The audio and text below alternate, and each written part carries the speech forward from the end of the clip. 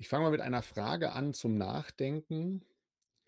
Und zwar folgende Frage: Stellen Sie sich vor, Sie bekommen einen neuen Nachbarn und, äh, jetzt kommt die Frage: Würden Sie leber lieber neben einem Dieb wohnen oder einem Tierschänder? Also, Sie haben nur diese beiden Möglichkeiten. Und äh, natürlich mit einem Augenzwinkern gemeint, aber folgt man dem deutschen Strafrecht, sollte man eigentlich den Tierschänder wählen. Diebstahl ist eine Straftat in Deutschland, wird sogar teilweise mit Gefängnis bestraft. Aber Sex mit Tieren, überraschend, ist nur eine Ordnungswidrigkeit, wird also als nicht so schlimm angesehen vom Gesetzesgeber. Und trotzdem denken wir normalerweise hm, andersrum. Wir sagen, ja, ich möchte nicht neben jemandem wohnen, der eine abartige Neigung hat. Und solche Worte wie abartig oder wie wir gerade schon gehört haben, widerlich, eklig, unnatürlich, abscheulich, das sind Worte, die schon darauf hindeuten, dass hier eine Emotion im Spiel ist, wie wir gerade schon gehört haben, Ekel. Und deshalb möchte ich jetzt ein bisschen darüber reden, was ist eigentlich Ekel für eine Emotion und vor allen Dingen, was hat Ekel mit Moral und mit Politik und vielleicht auch mit unserem Alltagsleben zu tun. Und bevor ich was jetzt über Ekel sage, es wird gleich noch, geht wirklich noch ans Eingemachte, sage ich so ein bisschen was kurz dazu, wo eigentlich der Zusammenhang besteht zwischen Emotionen und Moral. Wenn man Menschen Fragen stellt, wie diese Frage mit dem ähm, Ekel, dann antworten die typischerweise sofort darauf, innerhalb von einer Sekunde. Also Menschen brauchen ungefähr teilweise nur 200 Millisekunden, eine Fünftelsekunde, um sofort zu sagen, ich möchte neben dem Dieb wohnen. Und auch bei vielen anderen Fragen ist das der Fall. Also das ist ungefähr so lang wie so ein Doppelklick auf dem Touchpad. Unglaublich schnell. Und das heißt, Sie können nicht drüber, lange drüber nachgedacht haben, Sie können nicht abgewogen haben, sondern man hat so ein Bauchgefühl und das Bauchgefühl sagt einem sofort, ah, das ist richtig, das ist falsch und das ist ein Mensch, den finde ich in Ordnung oder den finde ich schlimm und den finde ich weniger schlimm. Und Philosophen haben sich das ja immer ein bisschen anders vorgestellt, allen voran Kant. Kant hat gesagt, äh, wenn wir handeln und urteilen, also moralisch handeln und urteilen, dann sollen wir das immer aus Pflicht tun. Und das heißt bei ihm aus der Vernunft heraus. Wir sollen unser Handeln immer aus allgemeinen Prinzipien ableiten und im Grunde so leben, als hätten wir immer die Menschenrechte im Kopf und jede einzelne Handlung muss irgendwie zu den Menschenrechten und zu einem allgemeinen Moralprinzip passen. Und selbst Kant wusste aber, im Alltag machen wir das natürlich nicht. Das funktioniert gar nicht. Er hat gesagt, aus so krummem Holze, als woraus der Mensch gemacht ist, kann nichts ganz Gerades gezimmert werden. Also wir sind aus krummem Holz gemacht. Wir handeln oft aus Neigung, wie Kant sagt, oder heute würde man sagen, aus Emotionen. Und diese, diese Intuition, also diese Vorstellung, ja, vielleicht ist unser Handeln sehr stark von so Emotionen, Emotionsneigungen bestimmt, den, diesem Impetus gehen Moralpsychologen seit ungefähr 20 Jahren nach und untersuchen, was passiert denn jetzt wirklich in unserem Kopf, in unserem Geist, wenn wir moralisch fühlen, denken und handeln. Und da haben sich halt Emotionen als besonders einschlägig erwiesen. Man kann Emotionen sich vorstellen als so eine Art Warnsystem des Körpers. Ne? Also viele Tiere haben Emotionen. Äh, wir haben die teilweise geerbt von unseren Vorfahren. Und diese Emotionen helfen uns eigentlich erstmal in der Umgebung uns zurechtzufinden. Ein schönes Beispiel ist Angst. Wenn Menschen Angst haben, wir wollen zwar keine Angst haben, aber Angst ist eigentlich ein Mechanismus, der uns vor Gefahren warnt. Die Angst sagt nicht zu mir, da ist eine Gefahr, aber sie teilt mir sozusagen durch meinen Körper und die Anspannung, in der ich bin, mit, da ist eine Gefahr, pass mal lieber auf. Also wir haben Angst vor Schlangen und Spinnen, vor Abgründen, vor dunklen Räumen. Das sind alles potenzielle Gefahren für unser Leib und Leben. Und die Angst, die wir verspüren, die warnt uns sozusagen, ist wie so eine Körperwarnung, wie so ein Alarmsystem des Körpers. Und das ist interessant, wenn man sich das jetzt einmal klar macht. Evolutionsbiologen sagen, ja, unsere Emotionen sind so eine Art Warn- und Schutzsystem unseres Körpers. Dann sieht man auch sofort, da gibt es eine ganz enge Parallele zur Moral, weil wie die Angst mir sagt, zum Beispiel, äh, pass auf die Kinder auf. Ja, wir haben ja auch Angst um unsere Kinder, nicht nur um uns selbst. Sagt ja auch die Moral, du sollst auf deine Kinder aufpassen, du sollst sich um dich um die Kinder sorgen, du sollst sie schützen.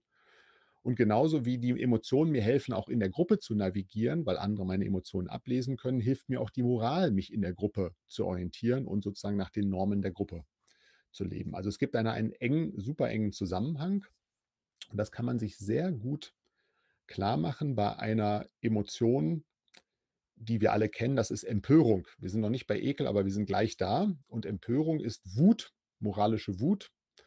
Wenn wir etwas sehen, wenn ein moralisches Prinzip verletzt wird, dann werden wir sofort moralisch wütend, dann empören wir uns. Also wenn ich sehe, da draußen auf der Straße wird jetzt gerade eine alte Dame überfallen, zwei Männer wollen ihr die Handtasche wegreißen, dann muss ich nicht lange nachdenken, um mir zu überlegen, hm, ist das jetzt richtig oder falsch, von welchen allgemeinen Prinzipien kann ich das ableiten, sondern ich habe sofort dieses Empörungsgefühl, sofort diese moralische Wut. Also die Wut sagt, da ist ein moralisches Prinzip verletzt. Die Empörung sagt mir, da ist ein moralisches Prinzip verletzt. Das kann sein, die Freiheit wurde verletzt, äh, jemand hat einen Schaden bekommen, jemand ist diskriminiert worden, unfair behandelt worden, bestohlen worden und so weiter. Das können alle möglichen Normverletzungen sein, aber immer wenn ich das wahrnehme, wenn ich davon höre, werde ich wütend, werde ich empört und Empörung ist auch ein kommunikatives Signal. Wenn ich mich empöre, sehen das andere, ich teile anderen auch damit mit. Da ist ein Wert, da ist etwas, was mir am Herzen liegt und der, dieser Wert ist verletzt worden. Also es ist klar, es gibt eine enge Verbindung zwischen Emotionen und Moral. Bei Empörung ist uns das allen klar. Und jetzt kommt der Clou. Auch Ekel hat so eine moralische Dimension. Und das ist sehr spannend. Und um sich das klar zu machen, muss man sich vielleicht zuerst mal fragen, was ist Ekel überhaupt für eine Emotion? Und was ist die Grundfunktion von Ekel? Um sich dann zu verdeutlichen, wann ist Ekel moralisch und politisch relevant. Und die Evolutionsbiologen sagen, Ekel ist auch ein Warnmechanismus, so ähnlich wie eine Angst, warnt uns auch vor Gefahren, aber der ist etwas spezifischer. Ekel sagt uns, da ist eine Infektionsquelle. Und wiederum sagt der Ekel uns das nicht wörtlich. Ähm, Menschen ekeln sich auch, wenn sie nichts über Infektionen wissen, aber sozusagen die Funktion, die biologische Funktion von Ekel ist auch eine Schutzfunktion. Und das kann man sich sehr gut klar machen, wenn man sich mal verdeutlicht, wovor ekeln wir uns eigentlich? Jetzt wird es ein bisschen haarig. Wir verekeln uns vor verdorbenem Essen. Wir ekeln uns vor Kadavern. Wir ekeln uns vor Tieren, vor allen Dingen vor dem Geruch von Tieren. Wir ekeln uns von allem, was von Fremden kommt, also Menschen, mit denen wir nicht in sehr enger Beziehung sind. Und zwar alles, was von deren Körper kommt. Haare, Haut, alle Körperflüssigkeiten, Rotz, Blut, äh, Eiter, egal was sie durchgehen, könnte man die ganze Liste durchgehen. Alles, was vom Körper, Gerüche auch vom Körper von anderen kommt, davor ekeln wir uns. Und wir ekeln uns auch vor sichtbaren Krankheiten, wenn Leute sehr, sehr starke sichtbare Krankheiten haben. Was haben diese alle diese Dinge gemeinsam? Sie können alle Keime enthalten. Parasiten, Bakterien, Viren, Kleingetier. Die Psychologen sagen jetzt, naja, Ekel ist so eine Art emotionales Immunsystem. Das reguläre Immunsystem, das arbeitet, wenn die Keime im Körper sind. Wenn ich mich anstecke, Viren, Bakterien in meinen Körper geraten, dann legt mein biologisches Immunsystem los. Aber Ekel ist sozusagen der Mechanismus, der davor geschaltet ist, das emotionale Immunsystem. Ekel ist der Mechanismus, der sagt, komm gar nicht in die Nähe von diesen Dingen, die infektiös sind. Meide Tiere, verdorbenes Essen, tote äh, Menschen, die Krankheiten haben, alles, was von den anderen Menschen kommt. Und wer sozusagen sich schnell ekelt, der ist auch mit weniger Keimen, Infektionen, kommt er in Berührung. Also Ekel so eine Art Schutzsystem, emotionales Immunsystem des Körpers. Und das Interessante ist, wenn man jetzt Ekel untersucht, zeigt sich, Ekel ist eine sehr junge Emotion in der Entwicklungsgeschichte der Menschheit. Ekel verspüren nur Menschen, ist eine sehr menschliche Emotion. Tiere ekeln sich nicht. Es gibt nur ganz schwache Vorformen bei Ratten und bei Affen. Und Ekel schwankt auch sehr stark zwischen den Menschen. Es gibt manche Menschen, die ekeln sich sehr, sehr schnell, bei Speisen zum Beispiel, vor Käse oder Fleisch. Und manche Menschen finden das unglaublich köstlich und die ekeln sich ganz selten. Also es gibt eine sehr, sehr starke Unterschiede. Bei anderen Emotionen, wie zum Beispiel Angst, ist das nicht so. Alle Menschen haben Angst vor Schlangen und Spinnen. Und Ekel hängt auch sehr stark davon ab, in welcher Umgebung man aufgewachsen ist. In, in den Regionen der Welt, wo es sehr viele Keime gibt, vor allen Dingen sehr viele Parasiten und Bakterien, äh, ekeln sich die Menschen schneller und nachhaltiger. Sie sind weniger offen und sie sind auch oft kollektivistischer und haben Mechanismen gefunden, mit wenig Kontakt zu haben, zum Beispiel mit anderen Menschen oder auch mit bestimmten Speisen, was man vielleicht auch als eine Art Infektionsschutz, kulturellen Infektionsschutz deuten kann. Also Ekel hat erstmal diese Funktion, sie schützt uns vor Keimen, vor Infektionen. Ähm, aber, das hatten wir ja schon gerade gehört in der Einleitung, Ekel ist auch eine moralische Emotion. Und das finde ich extrem spannend, die Forschung dazu. Das wird seit ungefähr 20 Jahren untersucht. Man testet erstmal, wie ist die Ekeldisposition von Menschen und schaut dann, wie antworten Versuchspersonen auf moralische Fragen, wie sie zu Migration stehen und zu Abtreibung und zu Gott und äh, zu Gerechtigkeit und Steuern und Umverteilung und so weiter, zu allen möglichen moralischen Fragen. Wie macht man das? Na, erstmal ermittelt man, wie stark ekeln sich Menschen. Und das geht zum Beispiel mit ganz unterhaltsamen Fragen. Man fragt die Leute zum Beispiel, stell dir vor, du gehst in so einen Bus, setzt dich auf einen Sitz und die Person, die da vorher gesessen hat, ähm, durch die ist der Sitz noch warm. Du setzt dich auf so einen warmen Sitz. Findest du das so ein bisschen komisch? Hast du so leichtes Unbehagen? Oder ist dir das eigentlich ziemlich egal? Oder äh, stell dir vor, du bekommst eine Blutspende im Krankenhaus mit deinem Blut. Das ist kompatibel mit deiner Blutgruppe, aber die, das Blut kommt von einem pädophilen Straftäter. Findest du das schlimm äh, oder nicht? Oder wie viel Geld müsste ich dir zahlen, damit du dir diese Blutspende geben lässt? 100 Euro, 1000 Euro oder würdest du, sagst du, für kein Geld der Welt würde ich mir jemals von einem pädophilen Straftäter Blut spenden lassen? Oder auch noch ein schönes Beispiel, man stellt so einen Orangensaft hin, nimmt eine sterilisierte, tote Kakerlake, tunkt die da einmal rein und sagt, pass mal auf, ich habe die jetzt hier einmal reingetunkt, wie viel Geld muss ich dir geben, damit du da aus diesem, von diesem Orangensaft trinkst? Ich kann dir kann sicherstellen, ist vollkommen sterilisiert, vollkommen ungefährlich. Aber es ist trotzdem so ein bisschen, ja, nicht so schön, das zu sehen, dass die Kakerlake da eingetunkt war. So, und dann ermittelt man das. Man kann Leuten auch Bilder zeigen von ekligen äh, Dingen. Man kann das auch physiologisch und neurologisch testen. Also Leute äh, haben starke Hirntätigkeit, wenn sie sich ekeln in der Inselrinde. Das ist ein Bereich des Hirns, der für die Ekelverarbeitung zuständig ist. Man kann das an der Hautleitfähigkeit messen wenn man das dann so ermittelt hat mit diesen verschiedenen Methoden, dann stellt man den Leuten auch Fragen zu Moral. Und das ist in über 60 Ländern inzwischen durchgeführt worden, an mehr als 20.000 Versuchspersonen. Es gibt inzwischen Dutzende, ich würde sagen wahrscheinlich über 100 Versuche schon zu dem Thema. Und da zeigt sich, dass weltweit Menschen, die sich schnell und nachhaltig ekeln, vor allen Dingen vor anderen Menschen, Interpersonal Disgust wird das manchmal genannt, dass die oft konservative und traditionalistische Haltung haben, wenn es um Einwanderung, Sexualität, Leben und Tod und Essen geht.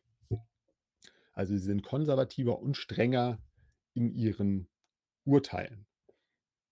Und sie haben sozusagen so eine Art moralisches Thema, das man nennen könnte Reinheit, Heiligkeit, Natürlichkeit. Äh, sie würden zum Beispiel eher sagen, dass Abtreibung etwas ist, was man nicht machen sollte. Äh, sie sind negativer gegenüber Homosexualität eingestellt, finden das unnatürlich, ähm, sind zum Beispiel auch gegen Embryonalforschung, ähm, sind auch eher etwas fremdenfeindlicher ähm, als die Vergleichsgruppe. Und das konnte man gut nachweisen. Also dieses Thema Reinheit, Heiligkeit, Natürlichkeit hat etwas mit den Ekeldispositionen zu tun. Und das Interessante ist jetzt, dass wir das auch aus Religionen kennen. Auch in Religionen wird oft über das Reine und Natürliche gesprochen und gilt auch als besonders schützenswert. Also denken wir an die Jungfrau Maria, ne, die eine unbefleckte Empfängnis hatte. Sie hat sozusagen ein Kind bekommen, ohne Sex zu haben. Besondere Strenge, was Sexualität betrifft. Es gibt Essensregeln in sehr vielen Religionen. Äh, gläubige Juden essen koscher. Da gibt es bestimmte Reinheitsgebote, was das Essen betrifft. Es gibt viele Religionen, die heilige Orte haben, die dürfen nur bestimmte Priesterinnen und Priester betreten, die werden auch gereinigt und zum Beispiel ausgeräuchert. Äh, vor dem muslimischen Gebet muss man sich die Hände, die Füße und das Gesicht waschen. Auch das ist eine, äh, sozusagen eine Reinheitsregel.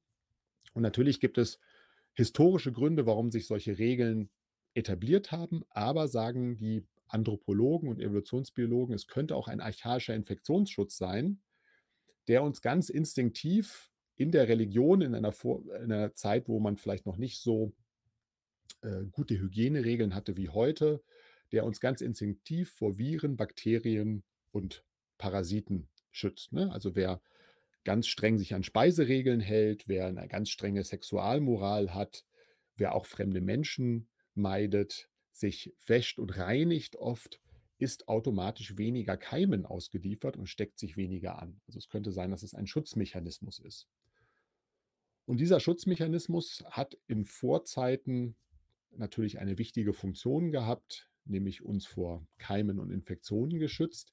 Aber, und das ist, der, glaube ich, die wichtige Einsicht, in der heutigen Moderne, wo wir gute Gesundheitsversorgung haben und Hygieneregeln und so weiter, schießt dieser Ekelmechanismus, dieser Schutzmechanismus oft über das Ziel hinaus. Und genauso wie die Empörung, die ich vorhin erwähnt habe, sagt, das ist moralisch falsch, ich empöre mich über etwas, was ich sehe, sagt moralischer Ekel, Abscheu könnte man sagen, so etwas wie, das ist moralisch unrein dann gibt es natürlich auch extreme Formen davon, also extreme Formen, die, wo die, äh, diese Ekelneigung übersteigert ist und wo es jetzt nicht nur um Reinheit geht, sondern schon um Abscheu. Wir finden das im religiösen Extremismus, aber auch vor allen Dingen im Rechtsextremismus, Rechtsradikalismus und auch in dem, was man manchmal gruppenbezogene Menschenfeindlichkeit nimmt, nennt. Also da werden Fremde dann plötzlich als minderwertig, eklig und minderwertig gesehen. Das sind Leute, die sagen, dass Homosexualität widerlich oder unnatürlich ist. Sie haben etwas gegen unklare Geschlechterrollen, also was alles, was fluide und unklar ist, wird als unnatürlich gesehen. Das ist die Rede vom linksgrün versifften Gedankengut. In dem Wort Siff steckt Syphilis, auch eine Krankheit. Und deshalb, wir haben es gerade eingangs schon gehört, kann man sagen, viele Wutbürger, vor allem die rechtsextremen Wutbürger, sind eigentlich Ekelbürger. Sie haben auch, sie sind auch wütend, aber eine starke Emotion, die sie antreibt, ohne dass sie es vielleicht selber merken, ist Ekel. Aber man kann auch umgekehrt sagen, der Fortschritt, den wir erlebt haben, die progressive Revolution der letzten 70 Jahre, die ganze Welt ist offener, liberaler, freier geworden. Wir sind toleranter geworden in vielerlei Hinsicht. Das ist auch eine Bewegung, die Ekel und Reinheitsgedanken immer weiter weggedrängt hat. Man kann das sehr gut sehen an den sogenannten opferlosen Straftaten. Also Homosexualität war 1950 fast weltweit in jedem Land noch eine Straftat. Heute ist es nur noch in ganz wenigen Ländern eine Straftat und in sehr vielen Ländern ist die homosexuelle Partnerschaft der heterosexuellen Ehe fast oder ganz gleichgestellt. Und auch das war ursprünglich mal etwas, wo die Leute gesagt haben, das ist unnatürlich, das ist widerlich, das ist mir nicht geheuer, wenn sich da Männer oder Frauen öffentlich küssen. Und heute haben wir äh, durch unsere Erziehung gelernt, dass das eigentlich gar nichts Schlimmes ist und wir sehen das überhaupt nicht mehr als moralisch problematisch an. Also wir haben diese Reinheits- und Ekelgedanken irgendwie abgelegt. Das Interessante ist, es ist jetzt nicht nur sozusagen traditionalistisches, konservatives Denken, hat etwas mit Ekel zu tun, sondern man kann auch viele aktuelle Phänomene, die wir diskutieren, auch äh, erklären und besser verstehen, wenn man sich diese Ekelneigung anschaut. Ein Beispiel ist der, der Rechtsruck, den wir alle beobachtet haben. Ich habe ja gerade gesagt, die Welt ist progressiver, offener, liberaler geworden in den letzten 50 bis 70 Jahren. Aber was wir beobachten, ist so eine Art Gegenbewegung, Backlash wird das manchmal genannt. Vor allen Dingen im Westen sind überall rechtspopulistische Parteien erfolgreich geworden. Ich würde auch den Brexit und Trumps Wahlerfolg würde ich auch beides hinzuzählen. Und da wurde oft dann gesagt, ja, das hat was mit ökonomischen Verwerfungen zu tun, mit materieller Unsicherheit. Das ist, äh, sagen wir mal, eher eine, eine Reaktion auf ökonomische Ängste. Aber auch da zeigt die Forschung, das stimmt eigentlich nicht. Die Wähler der AfD zum Beispiel kommen aus allen Einkommensschichten. Das ist gar nicht unbedingt eine primär ein sozioökonomisches Phänomen, sondern es ist eher eine Art Unbehagen, Abscheu gegen das Fremde, gegen die Globalisierung. Die Globalisierung bringt nicht nur fremde Menschen, sondern auch fremde Sitten, fremde Bräuche, äh, neue äh, kulturelle Ideen, neue Sprachen mit sich und Menschen, die eine starke Ekelneigung haben, möchten nicht so gern mit dem Neuen konfrontiert werden und lehnen das auch eher ab. Oder noch extremer, gruppenbezogene Menschenfeindlichkeit wird von sozialen Psychologen oft untersucht und auch da kann man zeigen, dass äh, vor allen Dingen sozusagen im, am rechten Rand gar nicht Migration das einzige Thema ist, wo Rechte besonders stark drauf anspringen, Fremdenfeindlichkeit, Rassismus, sondern es ist eigentlich viel weiter gefasst. Ähm, Im re rechten Rand, die Leute, die gruppenbezogene Menschenfeindlichkeit haben, die richten sich eigentlich gegen alle Randgruppen und machen da oft auch gar keinen großen Unterschied. Einfach nur um mal zwei Beispiele zu nennen. Bolsonaro in Brasilien hat auch gehetzt, aber gegen Arme, gegen die einheimischen Schwarzen hat er gehetzt, gegen Homosexuelle und gegen äh, Kriminelle, hat die als minderwertig, als eklig dargestellt. Ihm ging es gar nicht so sehr um Migration. Duterte in, auf den Philippinen hat sich sehr hart geäußert gegenüber Drogensüchtigen und Drogenhändlern, hat gesagt, die zerstören unsere Kinder, aber hat das auch verbunden sehr stark mit einer Rhetorik, dass das minderwertige, unwürdige Menschen sind. Also auch da wurde Ekel verwendet und auch die großen Studien zur Menschenfeindlichkeit zeigen, Leute sind menschenfeindlich, sie werten dann meistens sich nur eine Gruppe ab. Es geht nicht nur gegen Migranten, sondern oft gegen, auch gegen Transpersonen, gegen Homosexuelle, gegen Sinti und Roma, Juden, Muslime, Arbeitslose, Obdachlose. Also es sind alle, die von der Norm, vom Standard abweichen. Sie werden oft über, über Ekel dann entmenschlicht, entwürdigt und als minderwertig angesehen. Und deshalb ist Ekel auch eine Strategie, die man im rechten Populismus vor allen Dingen sehr stark findet. Wir haben das im Wahlkampf gehört. Trump hat seine Gegner äh, äh versucht ähm, zu diffamieren mit einem Vokabular, dass er gesagt hat, äh, der ist wie ein Schwein oder Hillary Clinton äh, geht ständig auf die Toilette.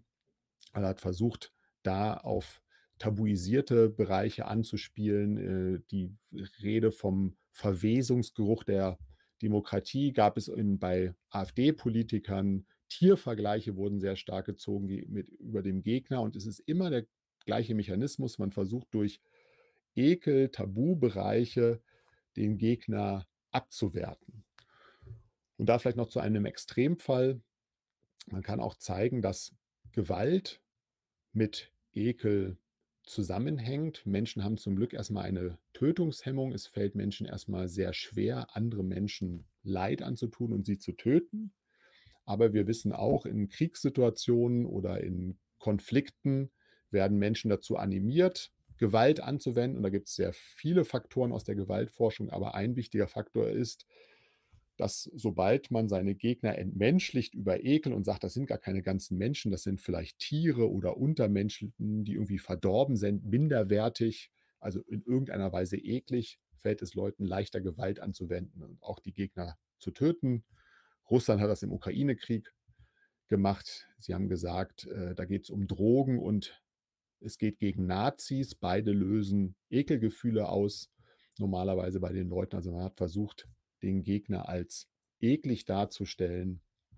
Ähm, es gibt Versuche zum Folgeversuche zum Milgram-Experiment, die zeigen, Milgram-Experiment kennen Sie wahrscheinlich, da haben Leute durch Autorität anderen Versuchspersonen, die aber nur mitgespielt haben, äh, Strom, mit Stromstößen sozusagen Gewalt angetan. Sie haben diese Person nicht gesehen, aber wenn man ihnen gesagt hat, das ist eine eklige Person, dann waren sie viel eher bereit, schnell und besonders viel Gewalt anzuwenden. Und noch extremer, man weiß auch, dass in, äh, die Tötungshemmung vor allen Dingen sinkt äh, aus der Genozidforschung. Das ex absolute Extrembeispiel ist natürlich der Nationalsozialismus. Die Nationalsozialisten haben Juden als unrein dargestellt, hatten diese Vorstellung von Rassenreinheit, haben, es gab Vergleiche mit Parasiten und Trichinen.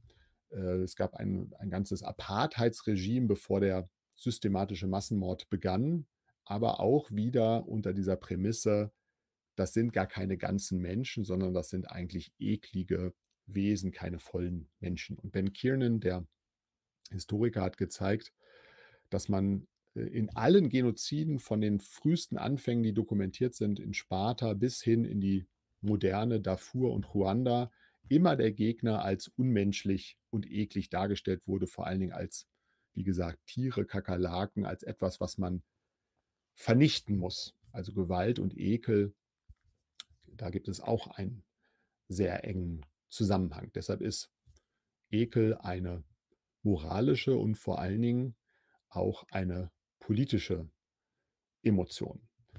Und ich sage noch ein bisschen am Ende was zu einem, zu noch einem anderen Aspekt von Ekel.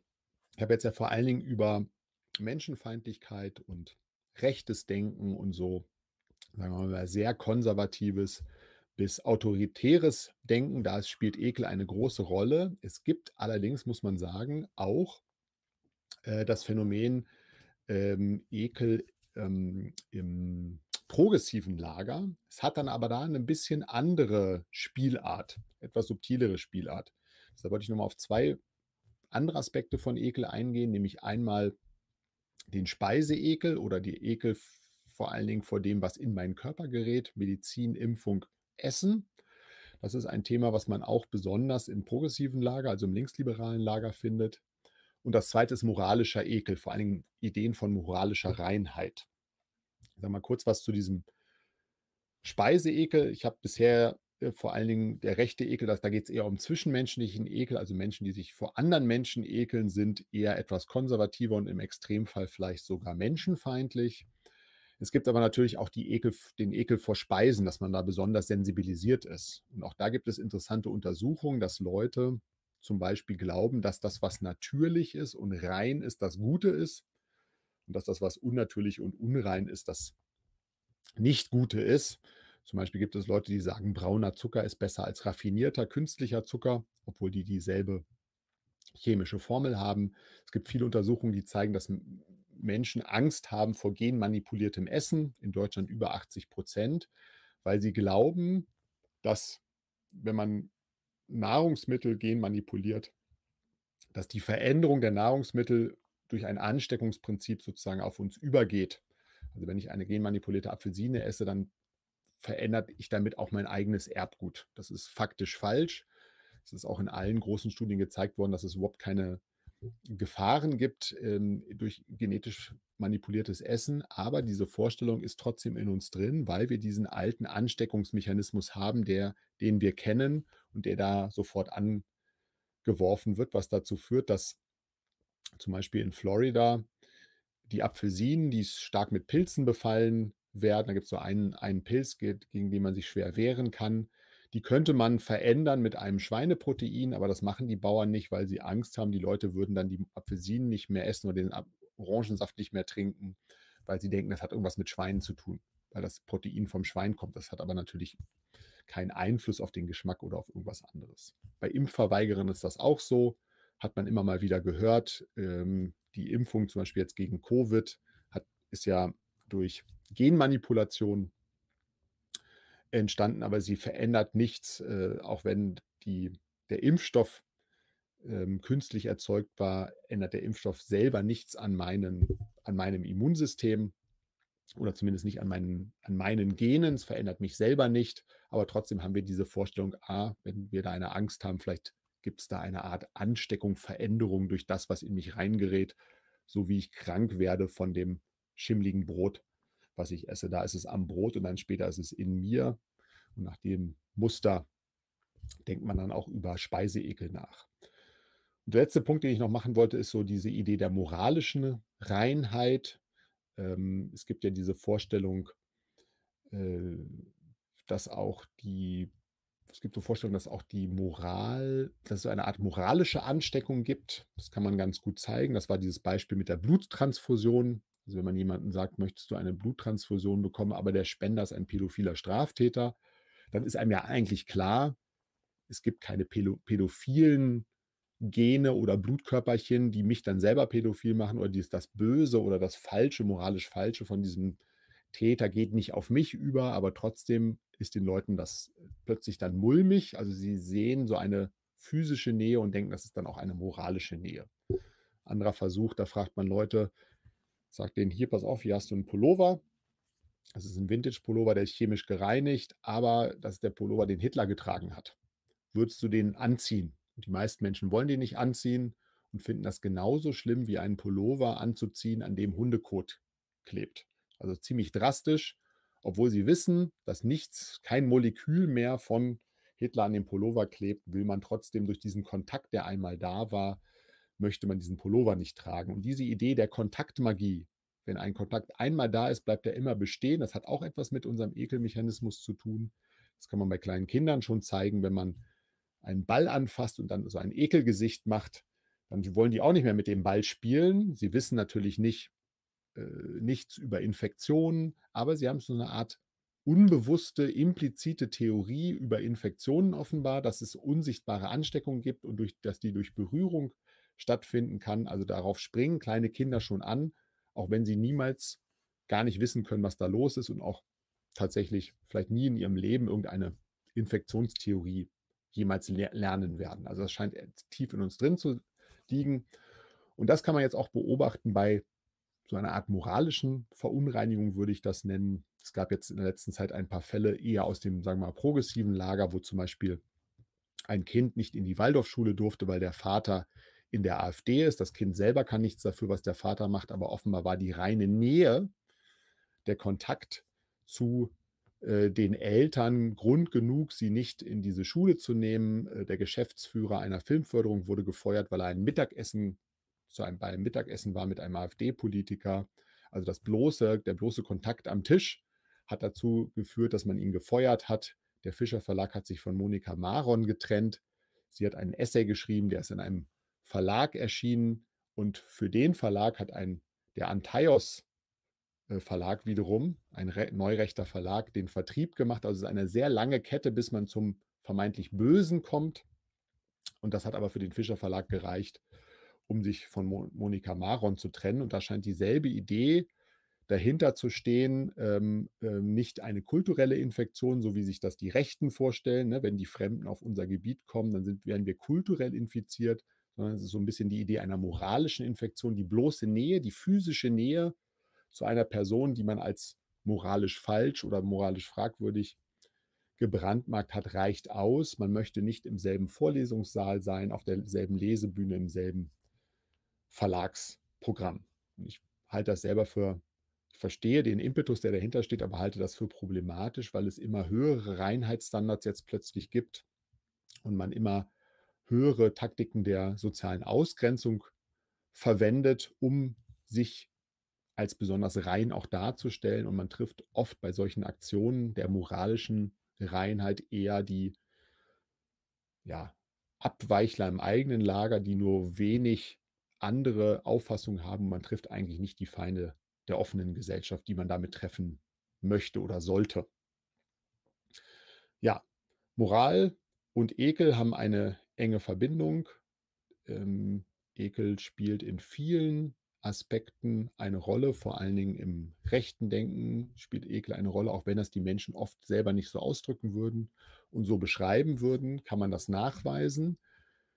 Man kann allgemein sagen, Emotionen haben eine wichtige evolutionäre Funktion. Sie helfen uns auch, zum Beispiel im zwischenmenschlichen Zusammenleben, auch bei unseren moralischen Urteilen. Aber, das muss man sich immer wieder klar machen, sie schießen oft über das Ziel hinaus und wir können uns nicht blind darauf verlassen. Und gerade bei Ekel ist es so, dass Ekel oft einer universellen Moral widerspricht.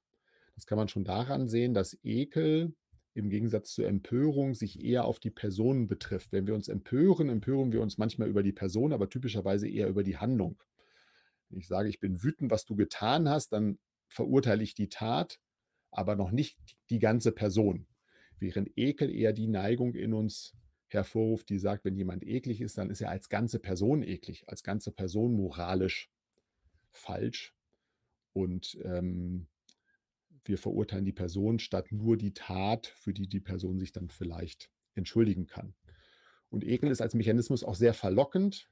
Das verlockt uns überall, die Welt in Freund und Feind zu unterteilen. Es gibt eine Geschichte, die vor ein paar Tagen in der, im Wall Street Journal erschienen ist. Da war eine kleine Untersuchung ähm, anhand von, ähm, da ging es um Jugendliche, die alle jetzt plötzlich ein Apple iPhone haben und sich dann miteinander Nachrichten schreiben. Und dann gibt es aber auch welche, die haben Android und man sieht dann Android sofort, die haben so eine grüne Sprechblase. Und in manchen Kreisen haben so viele Leute ein blaues iPhone, dass man dann schon 'n Außenseiter ist, wenn man nur nur die grüne Blase hat, also das etwas preiswertere Smartphone. Und einige dieser Kinder haben das sogar so beschrieben, dass sie das eklig finden, gross im Englischen, wenn sie plötzlich so 'ne grüne Sprechblase da sehen. Also, man sieht, dieser Ausschlussmechanismus, der Ekel hat, diese Ausgrenzung, der, äh, steckt in uns drin und kann sehr schnell aktiviert werden, selbst durch so was ganz Abstraktes wie, ähm, Kommunikation über iPhones. Jetzt kann man sich vielleicht noch abschließend fragen: „Sind wir unseren Emotionen jetzt hilflos ausgeliefert?“ Das klingt manchmal so, wenn man solche Texte liest von Moralpsychologen. Das ist sicherlich nicht der Fall. Wir können darüber nachdenken, das erforschen und wir müssen auch diesen Neigungen, die wir haben, natürlich nicht nachgeben. Wir können sie unterdrücken und können sie korrigieren. Und da gibt es, äh, einen ganz tollen Versuch von 2 Philosophen, die gezeigt haben, dass ein Philosophieseminar auch schön zu hören, wenn man selber Philosoph ist ein Philosophieseminar reicht aus, damit Leute ihre Meinung ändern. Die haben ein Seminar gemacht über Tierethik, darf man Tiere essen? Und haben diesen genialen Versuch so gemacht, dass sie geschaut haben, was bestellen die Leute in der Mensa am Anfang des Semesters über ihre Mensakarten für 'n Essen und nachdem 'n halbes Jahr später das Seminar vorbei ist. Und siehe da, Leute essen deutlich weniger Fleisch, wenn sie ein Seminar zur Tierethik gemacht haben. Also, man kann über seine Neigung nachdenken. Man kann auch Leuten die Angst oder den Ekel vor der Impfung nehmen. Auch da gibt es tolle Versuche, die zeigen, wenn man einmal verstanden hat, wie das Impfen funktioniert, hat man viel weniger Angst und denkt viel weniger in diesen Reinheitskatego Kategorien. Und natürlich leben wir ohnehin jetzt in einer Kultur der Offenheit. Wir werden erzogen zur Offenheit. Wir erziehen unsere Kinder zur Offenheit. Es gibt auch eine gelebte Offenheit, eine gelebte Vielfalt. Offenheit ist ein Persönlichkeitsmerkmal, aber ich glaube auch eine Tugend, nämlich die Tugend, die sagt: „Lass uns was Neues ausprobieren, im Fremden nicht die Gefahr sehen, sondern vielleicht eher etwas, was uns bereichern kann.“ Und insofern ist Offenheit eigentlich ein Gegenbegriff zu Ekel. Ekel ist eher der Mechanismus, der uns verschließt vor dem, was fremd ist, der dazu führt, dass wir die Grenzen dicht machen, ähm, unseren Einzugsbereich klein halten, die Freundesgruppen klein halten und nicht so viel mit dem Fremden oder den fremden Menschen, dem Neuen zu tun haben wollen. Deshalb ist Offenheit sozusagen 'n bisschen das Gegenmodell und ich glaube, da sind wir auf dem richtigen Weg. Deshalb würde ich sagen, das Prinzip für die Zukunft lautet weniger Ekel, aber mehr Offenheit wagen. Vielen Dank.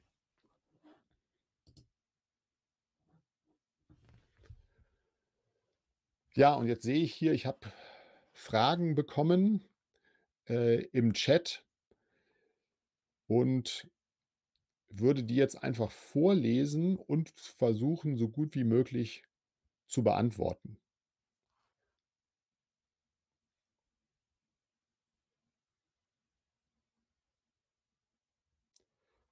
Erste Frage: Ich fände spannend zu wissen, wie man das mit anderen thematisieren kann. Wie fängt man so etwas an? Also, solche Themen, so Reinheits und Ekelthemen nehme ich jetzt mal an, ist da sind damit gemeint.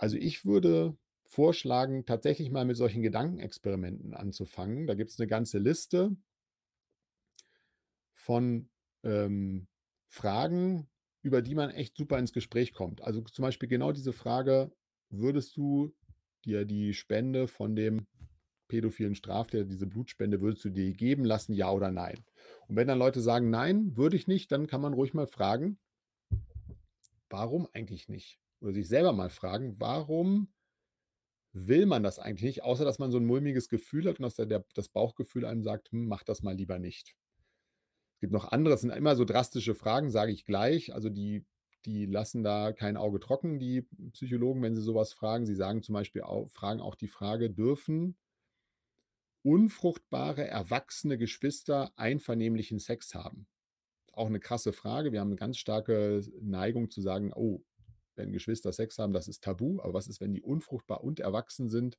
und das ist einvernehmlich und keiner bekommt's mit? Dann gibt's eigentlich keine Gefahr, keine negativen Folgen mehr davon.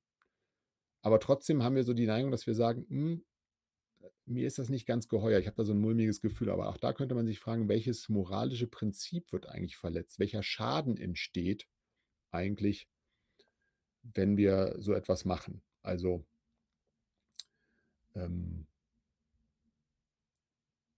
Tabuverletzungen, die aber keinen Schaden verursachen. Warum beschäftigen die uns so? Da das ist glaube ich, 'ne gute Möglichkeit, darüber zu sprechen. Die zweite Frage lautet: „Inwiefern ist moralischer Ekel eine Konsequenz von einem Gefühl von Angst und einem Bedürfnis nach Sicherheit?“ Ja, das ist 'ne sehr gute und auch sehr wichtige Frage.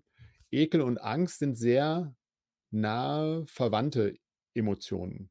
Sie sind sie haben eigene Schaltkreise, sie teilen sich aber zum Beispiel auch im Hirn einige Schaltkreise. Also, zum Beispiel lösen Spinnen nicht nur Angst, sondern auch Ekel aus. Ekel wird auch über die Amygdala verarbeitet. Das ist ein Teil des Angstschaltkreises und beide Emotionen sind erst mal Schutzemotionen. Angst schützt uns allgemein vor Gefahren. Wir haben Angst vor, wie gesagt, Spinnen und Schlangen, dunklen Räumen, Abhängen, äh, Leute, die aggressiv auf uns zukommen. Und Ekel schützt uns vor Infektionen. Und natürlich, äh, immer wenn wir Angst um etwas haben, dann heißt es, dass das, worüber worum wir Angst haben, dass es etwas ist, was wir wertschätzen. Also, äh, Ekel und Angst sind Mechanismen, die schützen uns, aber sie schützen natürlich etwas, was uns wichtig ist. Sie schützen vielleicht un unsere Kinder oder uns selbst vor Krankheit, vor Gefahren, vielleicht sogar vor dem Tod. Insofern, ähm, gehören die gehören die eng zusammen und Menschen, die ein starkes Bedürfnis haben nach Sicherheit, die ihre Umwelt als sehr gefährlich und bedrohlich wahrnehmen, sind auch ohnehin etwas konservativer. Also, auch Angst ist ein Indikator, der zeigt, dass Menschen eher konservativ traditionalistisch sind. Wenn man Angst hat, dann will man zum Beispiel mehr Polizei. Man ist eher dafür, Regelbrecher stärker zu bestrafen. Man ist dafür, dass der öffentliche Raum überwacht wird. Aber man ist noch nicht fremdenfeindlich.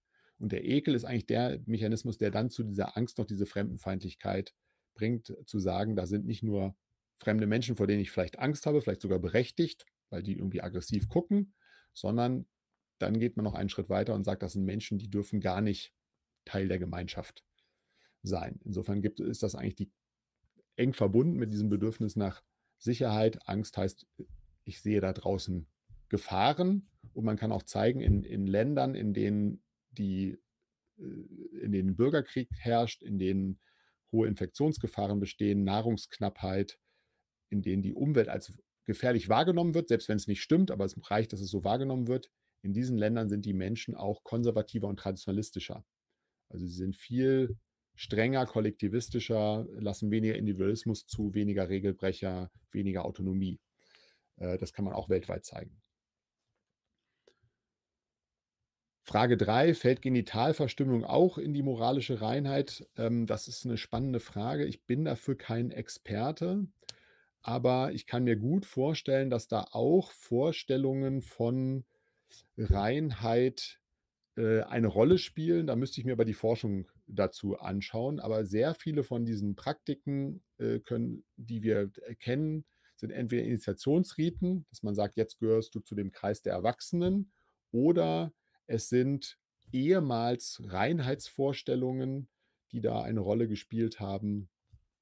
Ähm, männliche Beschneidung vielleicht, äh, dass das einen in wiederum in vorzivilisatorischen Urzeiten geschützt hat vor Infektionen. Aber natürlich sind sie heute, ähm, moralisch zu verurteilen, weil es Eingriffe in die körperliche Autonomie und Integrität sind und weil sie einen Schaden anrichten. Aber es könnte gut sein, dass das da auch eine Rolle spielt. Das ist 'ne spannende Frage, müsste ich mir mal äh, anschauen. Frage 4: „Inwiefern wird moralischer Ekel im frühkindlichen Alter durch das Verhalten der Eltern geprägt?“ Ja, das ist untersucht. Ich bin da jetzt auch kein Experte sozusagen für für frühkindliche Prägung, aber ich habe 'n bisschen was dazu gelesen. Und, ähm, man kann sagen, dass unsere Neigungen, die wir haben, sind zu einem gewissen Grade angeboren. Also, es gibt Menschen, die kommen etwas offener und neugieriger auf die Welt und Menschen, die sind von klein auf etwas vorsichtiger und, äh, sind nicht so interessiert an dem Neuen und sehen das eher als Herausforderung an. Aber die Prägung durch die Eltern und vor Dingen auch durch die Peer Group spielt da doch noch eine große Rolle. Und das kann man auch zeigen, dass es diese Erziehung zur Offenheit gibt. Also, in allen Ländern, wo ähm, von klein auf den Menschen klar ist, die Gesundheitsversorgung ist gut, ähm, äh, die Welt da draußen ist nicht so gefährlich und auch vor allen Dingen nicht infektiös, die sind auch insgesamt offener und ekeln sich weniger. Das ist schon faszinierend. Es gibt sogar Forscher, die sagen, die äh, Revolution, die Hippie-Revolution und die 68er-Revolution, ein wichtiger Faktor damals war nicht nur, dass irgendwelche theoretischen Schriften geteilt wurden, sondern dass es zum ersten Mal in der westlichen Welt flächendeckend Antibiotika, Penicillin und so weiter gab und die Menschen einfach viel offener leben konnten. Sie konnten eine offenere Sexualität haben, ähm, sie hatten eine bessere Gesundheitsversorgung, sie hatten eine sicherere Umwelt, sie konnten sich mehr mit sich selbst und ihrem Leben beschäftigen. Also das scheinen schon wichtige Faktoren zu sein, die man heute auch in vielen Ländern beobachten kann. Sobald es in den Ländern sicherer wird, werden die Menschen offener, was den Umgang betrifft und auch individualistischer, weniger kollektivistisch. Frage 5 noch, wie kann man mit Kindern, achso, Verzeihung, wie geht man mit Kindern um, wenn so etwas wie mit dem Android-iPhone-Beispiel aufkommt, wie erziehe ich mit weniger Ekel? Ja, das ist eine ganz tolle und wichtige Frage. Das wüsste ich auch gerne, aber ich glaube, es ist erstmal wichtig, das zum auf jeden Fall zu thematisieren, weil Kinder schon in sehr frühen Lebensjahren auf diese Gruppenmerkmale anspringen. Es gibt einen interessanten, aber ich finde auch erschütternden Versuch, der gemacht wurde vor ein paar Jahren, ich glaube so vor 10, 15 Jahren. Bickler heißt eine der Forscherinnen, der zweite Name ist mir gerade entfallen. Und äh, die haben in einem Ferienlager Schülern blaue und gelbe T-Shirts angezogen, aber nicht zu diesen blauen und gelben T-Shirts gesagt, aber alle blauen und alle gelben haben immer die ganzen Sportspiele und Verstecken und was die so gespielt haben, haben die immer zusammen gemacht. Also blau war immer untereinander und gelb war immer untereinander. Aber sonst äh, haben die sich einfach normal ausgetauscht, die Kinder, und es wurde auch nie kommentiert, warum manche blaue und manche gelbe T-Shirts anhaben. Und dann hat sich nach zwei Wochen schon rausgestellt, dass die blauen negative Vorurteile gegen die gelben hatten und die gelben gegenüber gegenüber den Blauen. Also man hat innerhalb von zwei Wochen geschafft, dass es, dass Menschen, Kinder Vorurteile gegenüber einer Farbe haben, die vollkommen arbiträr zufällig gewählt wurde. Und wenn man den Versuch wiederholt, man zieht ihnen wieder blaue und gelbe T-Shirts an, aber die Spiele werden bunt gemischt gemacht. Also es gibt gemischte Teams, die das eine oder das andere Spiel spielen, dann gibt es keine Vorurteile.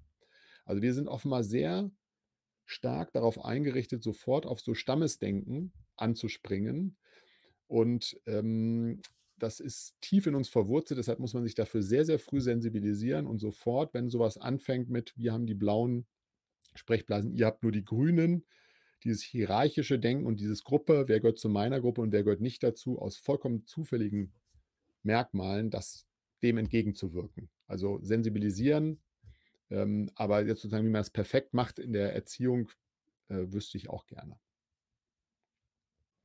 So, jetzt wurde gesagt, Jonas kommt wieder rein. Da bin ich. Hi. Hallo. vielen, vielen Dank, Professor Philipp Hübel, dafür schon mal. Ähm, man sieht ja im Chat, es hat ganz viel ausgelöst, also viele Denkprozesse, glaube ich, bei unseren Zuschauern ausgelöst, die wir jetzt versuchen mit rüberzunehmen äh, in die nächsten vier Wochen.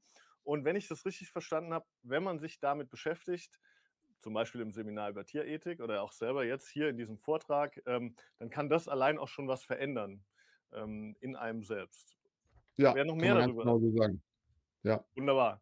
Wer noch mehr darüber ähm, erfahren möchte, dem gebe ich jetzt nur noch schnell mit auf den Weg ähm, das Buch Die aufgeregte Gesellschaft, weil da geht es auch um insgesamt um Emotionen. Ähm, also wer da noch mehr nachlesen will, hier. Und wir sagen vielen Dank, Professor Philipp Hübel auf der Art Social 22.